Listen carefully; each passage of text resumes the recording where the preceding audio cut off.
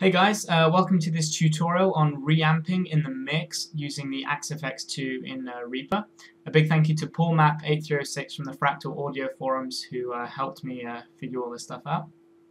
Now uh, obviously you need the Axe-FX, but you also need the another audio interface or sound card. Uh, the reason for this is the Axe-FX will do the amp modeling and cab modeling or whatever to any signal that can go into it uh, so if you want to reamp just the guitars, it, you will feed in the dry guitar signal and it will do that. However, it will all, it will re- it will do all the processing to any uh, signal coming in. So it will do it to let's say the drums that are there and all the other instruments. So the reason you need another audio interface is you want the Axe-FX to just do its magic on just the guitars and uh, you uh, want the other sound card to just play back uh, the rest of it. So by doing this you can tweak the uh, amp sounds and the other processing on the Axe-FX so that will do its magic just on the guitar signal and uh, the other sound card will play the rest and you can tweak in the context of the mix. Okay, so uh, you will need obviously another audio interface. You can use the sound card on your computer uh, or an external one, I'm using uh, my old Pod X3. Uh, the first thing you want to do is download a piece of software called ASIO4ALL. Uh, I'll give a link in the description. And once you've done that, go to uh, go to Options and Preferences to set up the sound cards.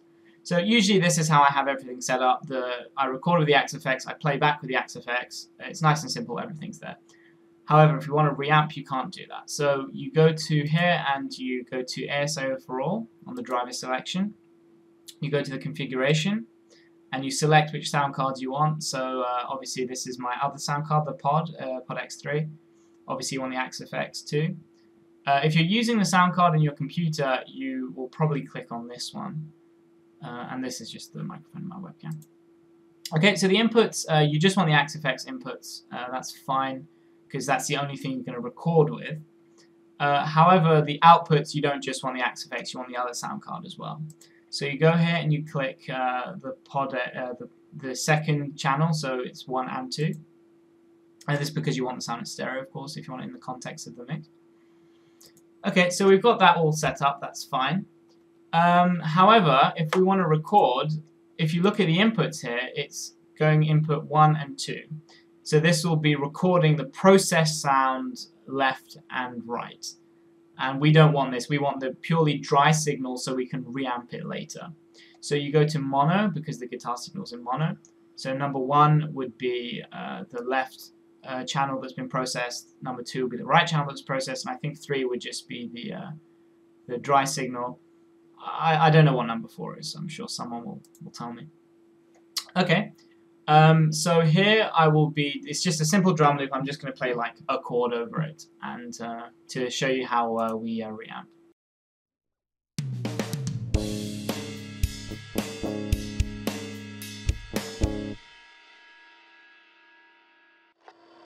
Okay, the next thing you want to do is press the I.O. button on the Axe-FX, then uh, go on the page that says audio, and where it says main input source, change that to USB.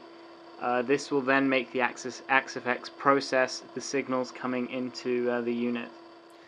Okay, so what you just heard was the dry signal uh, coming into the Axe-FX without any processing. In fact, I should probably uh, rename this channel Dry Guitar.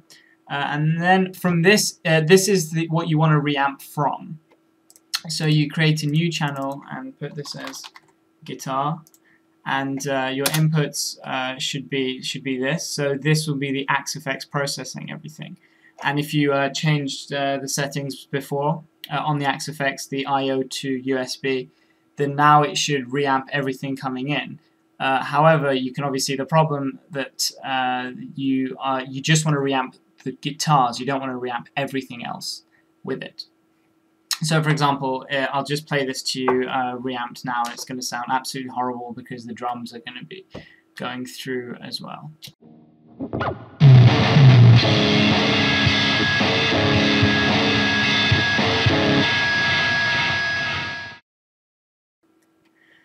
So that was quite horrible. Um, so uh, we have to try and make it that the drums are being sent to the other sound card and it's just being played back the way you go, uh, the way you do this, you go into the I/O, make sure you untick this because this is still going through the Axe-Fx because it's the main sound card. And uh, you go to add new hardware output and as you know mine is the pod which is the other one. So you click on it there. Uh, and now uh, you should have it as the guitars are just being processed by the Axe-Fx and everything else is coming out of the other sound card. So if we click record now, uh, we should get a reamped guitar and just the normal drums.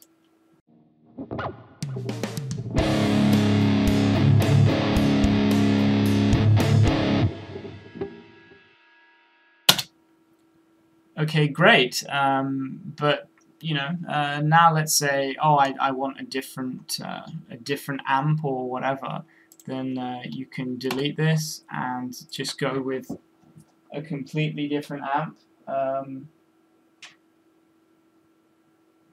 let's say this one for example and just uh, record that one.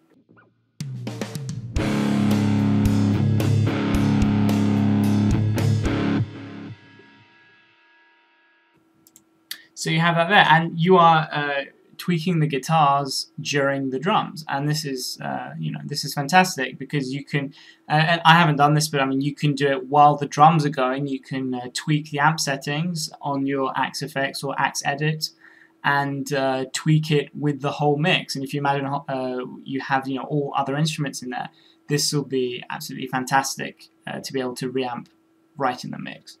Um, so really that's it basically. Um, you know, uh, hope you like this video. It was uh, it was great when I found out how you can do this, and uh, I hope you guys do it as well.